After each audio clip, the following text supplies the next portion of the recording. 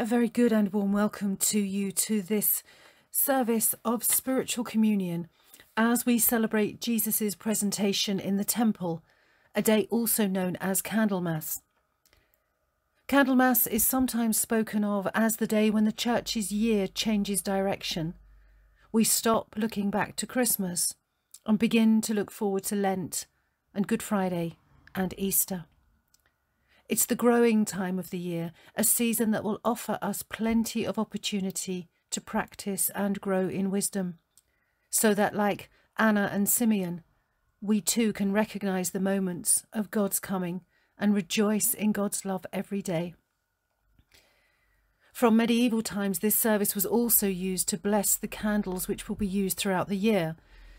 Today, due to the COVID restrictions and the impracticality of buying and then storing a year's worth of candles all at once, this is not possible. But having a candle or tea light to hand to reflect upon during this service is something you could do as we move through the liturgy. And so let's begin in the temple with Simeon and Anna and allow ourselves to be still for the presence of the Lord.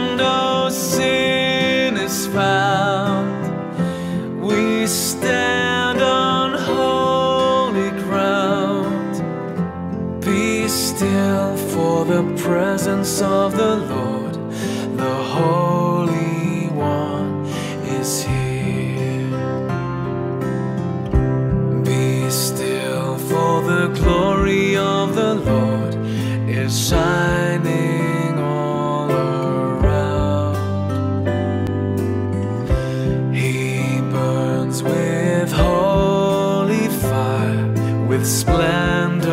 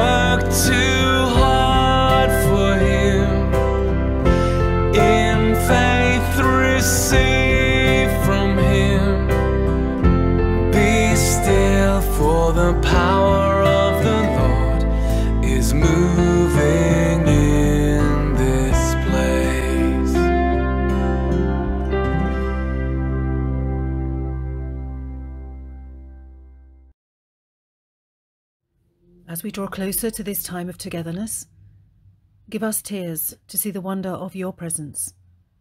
Give us tears to see the wasting of your people.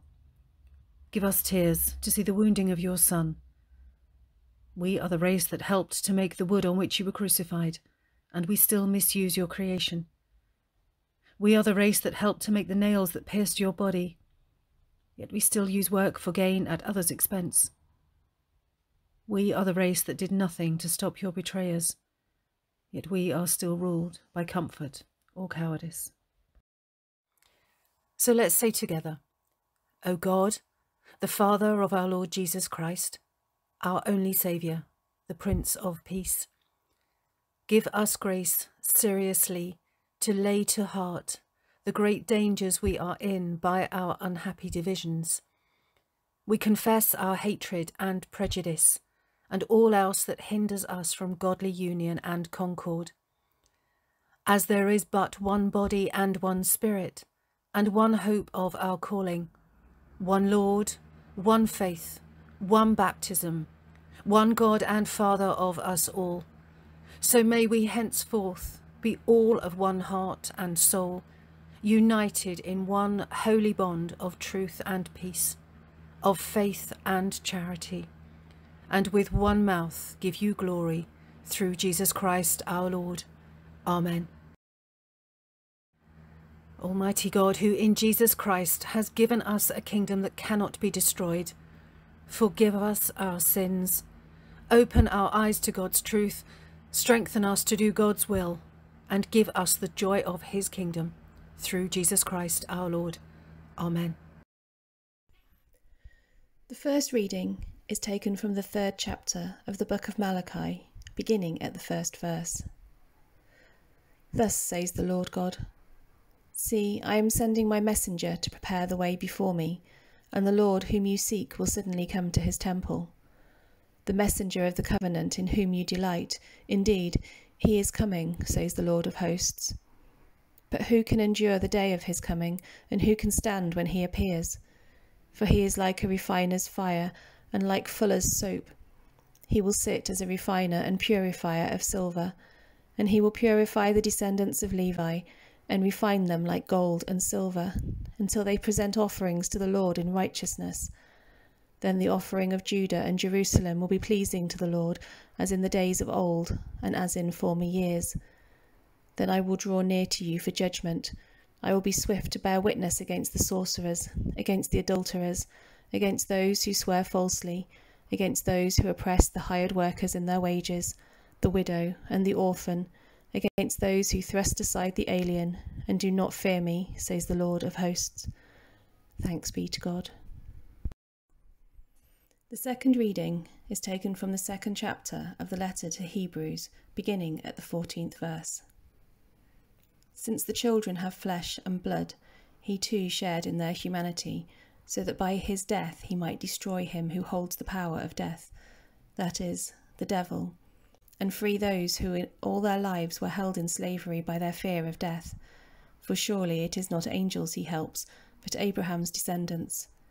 For this reason he had to be made like his brothers in every way, in order that he might become merciful and faithful high priest in service to God and that he might make atonement for the sins of the people. Because he himself suffered when he was tempted, he is able to help those who are being tempted. Thanks be to God.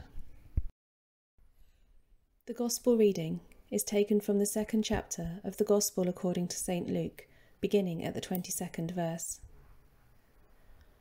When the time of their purification according to the law of Moses had been completed, Joseph and Mary took him to Jerusalem to present him to the Lord.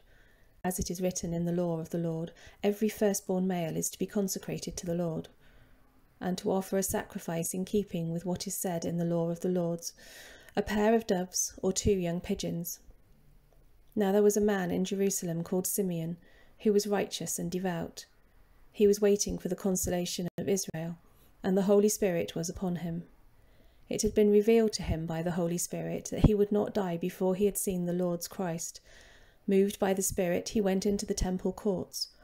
When the parents brought the child, Jesus, to do for him what the custom of the law required, Simeon took him in his arms and praised God, saying, Sovereign Lord, as you have promised, you now dismiss your servant in peace.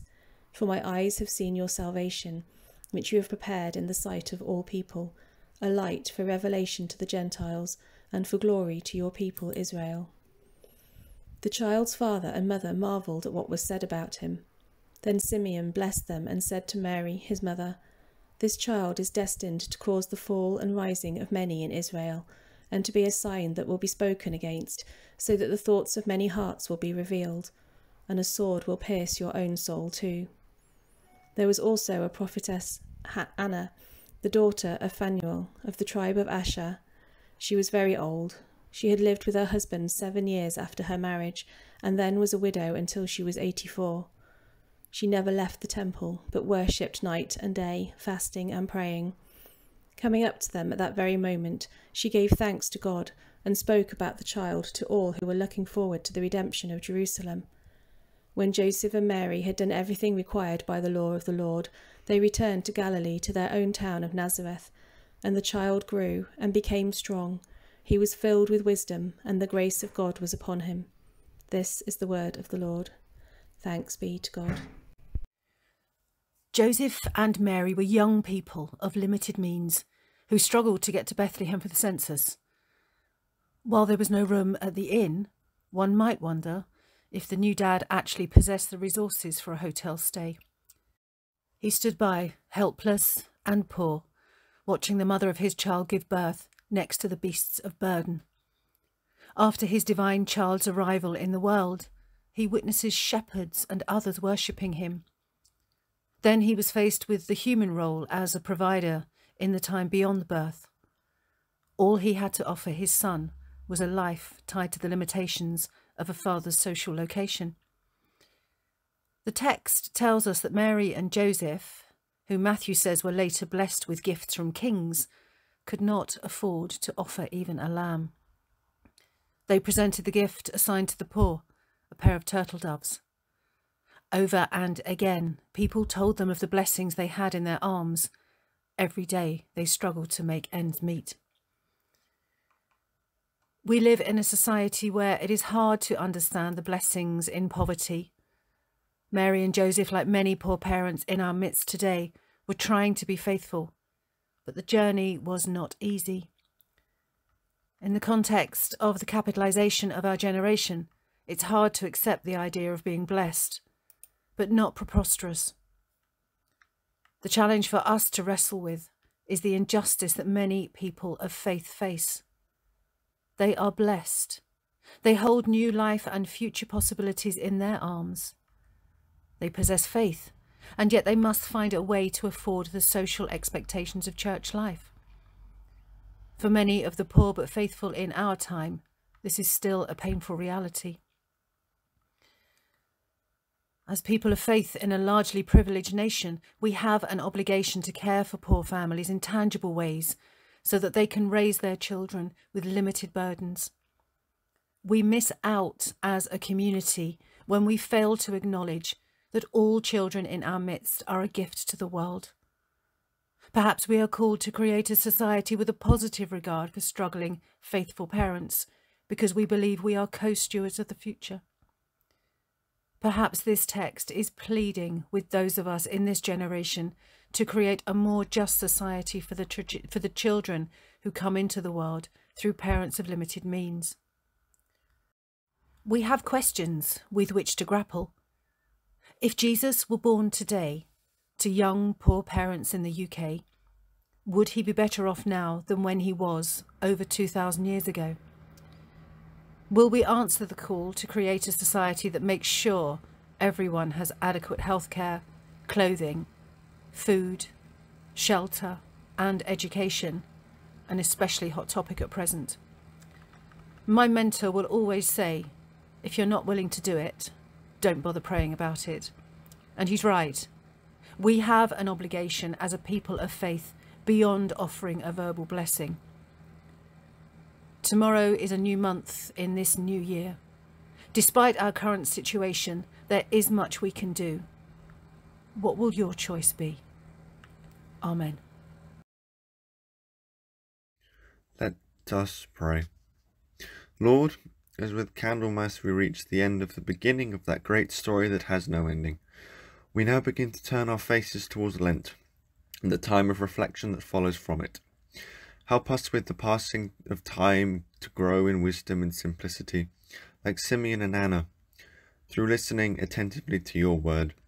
As we seek to be faithful followers of the essence of your message, may the whole church submit to the fire that refines and purifies as it turns back to the single truth that you were made in Palestine and live today in bread and wine. Lord, we thank you for the light that illumines our darkness. In your mercy, hear our prayer. Lord, you have sent us a light to enlighten the nations, and still there are people in darkness who pay no heed.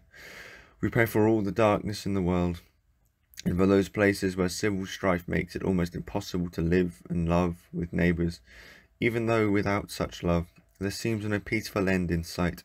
Deliver your people from evil, we pray. Lord, we thank you for the light that illumes our darkness.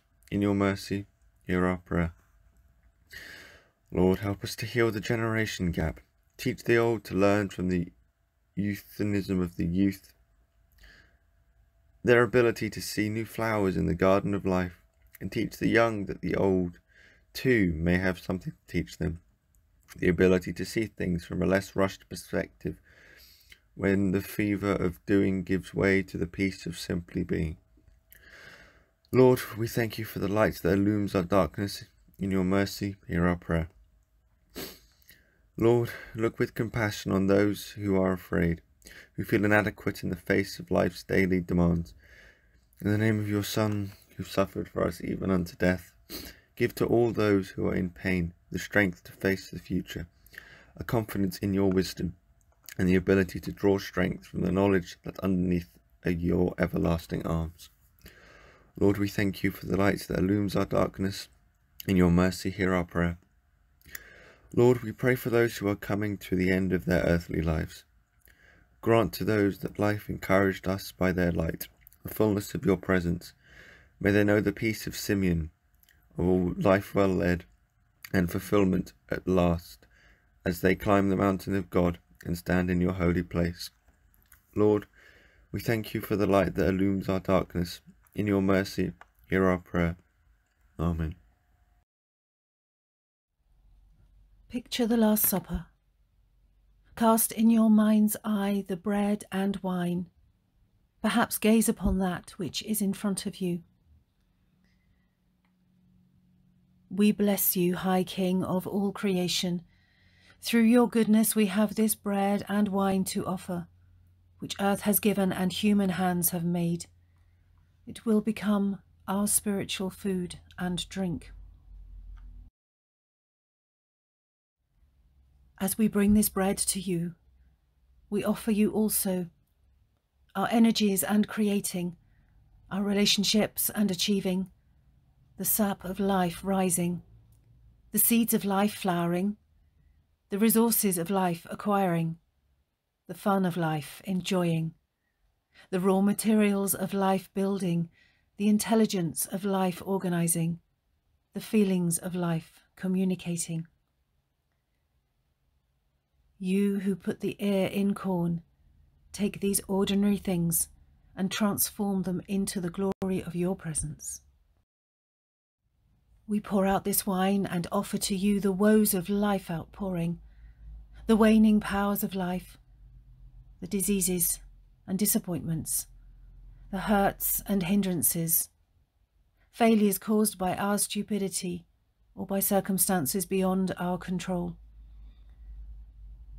As grapes are crushed to make wine, so we offer all who are crushed by hunger or loneliness by violence or abuse. We lift up our hearts and lift them to God alone. We lift up our heads and lift them to God alone. We lift up our voices and lift them to God alone. High King of the universe, who sustains the world, who brought forth the earth, you breathe wisdom into all your creation, till we reflect your threefold friendship. In our pain and sorrow, we cry out to you.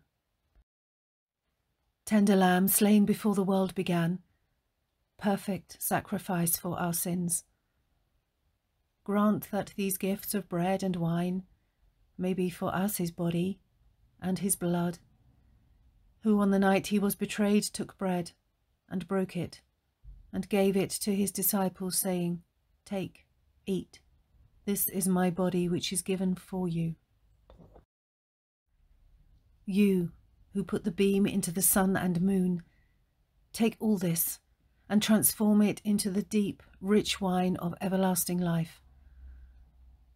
In our pain and sorrow we cry out to you. After supper, he took the cup, gave you thanks, and said to them, This is my blood of the new covenant, which is shed for you and for many for the forgiveness of sins. Do this in remembrance of me. This is the table, not of the church, but of the Lord, and it is to be made ready for those who love him and want to love him more. So come, you who have much faith, and you who have little, you who have been here often, and you who have not been for a long time, you who try to follow, and you who feel they have failed. Come, not because I invite you. It is our Lord, and it is His will that those who want Him should meet Him here. Now we say together the prayer that Jesus Himself taught us Our Father, who art in heaven, hallowed be thy name. Thy kingdom come, thy will be done, on earth as it is in heaven. Give us this day our daily bread, and forgive us our trespasses, as we forgive those who trespass against us. And lead us not into temptation, but deliver us from evil. For thine is the kingdom, the power, and the glory, for ever and ever. Amen. Christ, the Son of God, perfect in you the image of his glory, and gladden your hearts with the good news of his kingdom and the blessing of God Almighty, the Father, the Son, and the Holy Spirit be among you and remain with you always. Amen. So, thank you so much for joining us today. If you have lit a candle at any point in this service, do be sure to extinguish it and never leave a flame unattended. Thank you, Leanne, for our readings, and Killian, all the way from University in Farnham, for recording our prayers. I hope you are all staying safe and sane, and I look forward to welcoming you again soon. Until next time, I hope you have a blessed week. Goodbye.